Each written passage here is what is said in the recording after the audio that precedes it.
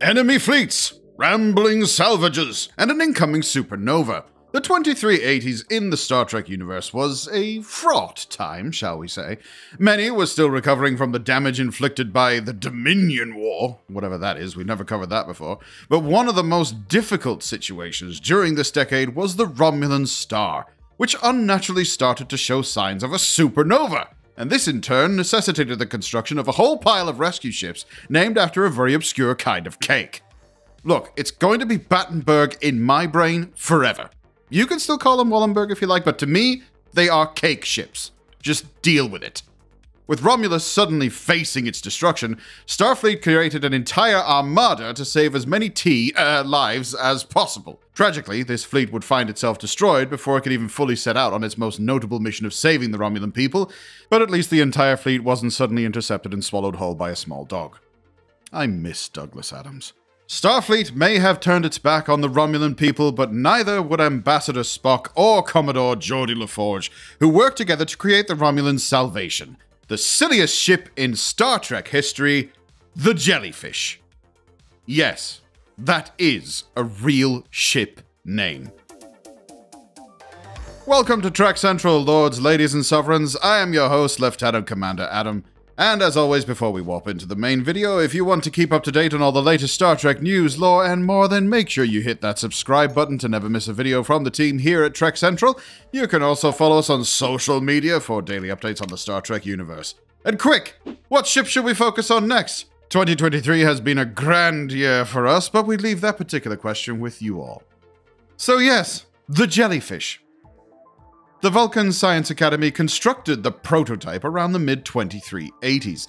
Its designer was actually Geordi LaForge, who, after coming off a nearly half decade stint working at the Utopia Planitia shipyards to construct the fleet of Battenberg class transport ships for the relocation of the Romulan people in systems affected by the Romulan supernova. This ship was only designed for a single occupant, so it was very, very wee, about 54.25 meters long. The ship was uniquely constructed at Vulcan to save the Romulan people from the impending supernova. The design kept some typically Vulcan elements to it, namely its curves in its structure. Though differing from Vulcan design, the hull of the ship was white compared to their usual reddish brown hull coloration. The structure of the jellyfish was made up of a main module that was crescent shaped, standing vertically. However, the ship had two different configurations. While it was in flight mode, this crescent structure stood vertically straight up. However, when the vessel wanted to land, it would rotate 90 degrees into a horizontal position. When the ship did land, it had landing gear and extended a boarding ramp for access to its interior. The rotating crescent section was attached to a central axis which had a drive section at the rear. The warp and sublight capabilities of this ship looked different than other space travel components of other Federation vessels at the time, namely in that it did not have conventional warp nacelles or impulse engines. This was connected to the drive section of the ship, which looked like the tail, and featured two rotating sections that spun in opposite directions. The outer rotating section was elongated along the spine of the ship and curved. The inside of this, almost tentacle like structure, was lined with components which assisted in the propulsion of the ship. The inner rotating section was sorted and extended more perpendicular to the other rotating section. How the drive section worked, though, as you can probably tell from all that gibberish I just threw at you, is a bit of a mystery. The center of the drive section did emanate a white light which looked almost like a flame. Uh, maybe it ran on hopes and dreams? Maybe. Probably not. But maybe. As the Jellyfish was only a one man vessel, the interior of the ship was extremely sparse. The main element of the interior was a central circular room which housed the red matter containment system, which was able to safely contain red matter, which is a very, very volatile and highly destructive substance. This containment system also had a feature which allowed for the safe extraction of a small amount of red matter, which could then be deposited into a torpedo or another payload delivery system, such as the Narada's mining charges, to deliver the payload of red matter to its target, whether that be an exploding supernova or a planet. Or anything else, I suppose, that you need destroyed by an artificial black hole. This room was connected to the main cockpit of the vessel, with a command chair shaped like a triangle, which, when looked at, connected with the spherical window of the ship, making a Vulcan IDIC symbol. as Zachary Quinto said. Fascinating. The ship was said to be the fastest of the Vulcan Science Academy fleet. However, the top warp speed of this vessel was actually only warp 8, Starfleet having vessels that could reach much higher warp thresholds. It could be that this was either the fastest one man vessel or just the fastest of the Vulcan science ships, perhaps as Vulcan vessels still employed circular warp drives. The jellyfish could be programmed to accept input from only voice print analysis from its pilot and facial recognition. It was programmed with Ambassador Spock as its pilot in the movie, but this did not account for alternate timelines, with their Spocks also seemingly being allowed to pilot it as well. Voice print and face recognition analysis enabled. Welcome back, Ambassador Spock. Oh, that's weird. I wonder if a changeling disguised as Ambassador Spock could also have been allowed to control it, or if the ship's computer made other checks. The ship was also equipped with phasers and torpedoes for offensive capabilities because a planet exploding molecule is not enough these days. Just give it a portal gun as well while you. Oh. Uh, never mind. It was also said to have transmetaphasic shielding, which could protect the ship from the forces near a star's corona. Metaphasic shielding was eventually incorporated into Starfleet ships as standard, with at least the Neo Constitution class and the Enterprise G, nee Titan A, having metaphasic shielding equipped. After a critical food coloring to dilithium ratio failure of the Federation Romulan relocation effort, okay, fine, no more cake ship jokes, I'm sorry, and the first Contact Day attack of 2385 by rogue synthetics hacked by a Romulan cabal known as the Zhat Vash, the Romulans didn't have much hope left. But at least they had cake. Damn it. I just can't help myself. The Romulan Star Empire continued to look for planets to relocate to quickly, but these efforts were hampered by former paranoia at their neighboring factions and also trying to ensure that their borders were protected during this tumultuous time. Wait, was that the Dominion War? Somebody really needs to explain that whole thing to me. I've got no idea what you're on about. Anyway, in 2386, the USS Titan would be involved in an incident along the Federation Romulan border, and its commanding officer, William T. Riker, would be held by a Romulan tribunal after the destruction of two Tal Shiar Enforcer class cruisers. Ambassador Spock would lead the defense for Riker and would manage to get the charges against him dropped. Ambassador Spock would then ask for a favor from Captain Riker. The ambassador had initiated a collaboration between the Vulcan Science Academy and Romulus into seeking a solution that might preserve the Romulan civilization. The ambassador wished that Riker would connect him with Geordi LaForge. LaForge was a very gifted engineer and shipwright, as we've seen, and Spock having read several of his warp propulsion theory monographs with interest. LaForge was involved with the Romulan relocation effort at the time, making sure the fleet of Wallenberg transport vessels was constructed in time, and was fortunately off world when Mars was attacked. Geordi LaForge would later go on to design and create the Jellyfish, the fastest ship of the Vulcan Science Academy, which would be able to deliver a payload of red matter in order to generate an artificial black hole, which, in theory, would absorb the Romulan star. My question, though, is what happens after that?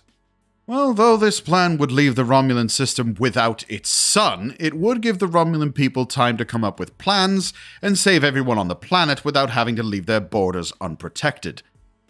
This vessel would be completed in the next year, 2387. Spock would then use the jellyfish to inject red matter into the supernova, resulting in the creation of a black hole that absorbed it. While the plan succeeded, Spock was unfortunately too late to stop it from destroying Romulus.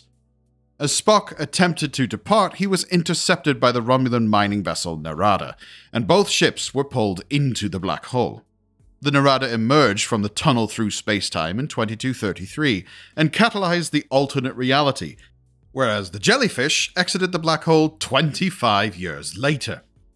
Nero, the captain of the Narada would capture the jellyfish and Spock and use its red matter to destroy the planet Vulcan in revenge for Spock failing to save his world and force Spock to watch his planet be destroyed from the nearby planet of Delta Vega. Nero would go on to try and destroy Earth, another faction that had failed to save the Romulan people in the Prime timeline, However, through a joint effort from this new timeline's Kirk and Spock, the new timeline Spock would retrieve the jellyfish, which would let him pilot it, recognizing that he was Spock Prime, and would pilot it on a collision course with the Narada. This ignited the store of red matter inside the ship, causing an artificial black hole to destroy the Narada with a little help from the Enterprise to make sure the Narada would not continue to time travel and cause even more damage. Though the jellyfish was not named on screen, it was given the name of jellyfish in the script, and for all we know, might have actually been called something more Vulcan in origin. Though since it was designed by Geordi LaForge, he might have been the one to name it. Multiple different concept artists worked on the jellyfish under production designer for Star Trek 2009, Scott Chambliss. Scott envisioned the ship as having sophisticated technology married with organic things, and saying it might even be a technology Vulcans grow, like a plant of high tensile steel. The visual effects supervisor of O9, Roger Guyett, said that the ship's warp signature was intended to evoke clean, green energy, in contrast to the burned, dirty fuel aesthetic of the Narada, which I think was definitely achieved in the final product. Bryan Hitch, a comic book artist and massive Star Trek fan, was brought on very early on to design the jellyfish. This was before a script was even made, with only a rough story outline and the concept of a one man Vulcan ship, which would carry red matter to stop a supernova. Some of Bryan's earliest concepts are extremely different from the end result, but are very interesting, with a lot more noticeably conventional Federation designs in the ship, but still retaining that almost organic nature to it. Bryan's favorite trek is Deep Space Nine, good taste there, so he took a lot of inspiration from the risks that DS9 did with its ship designs.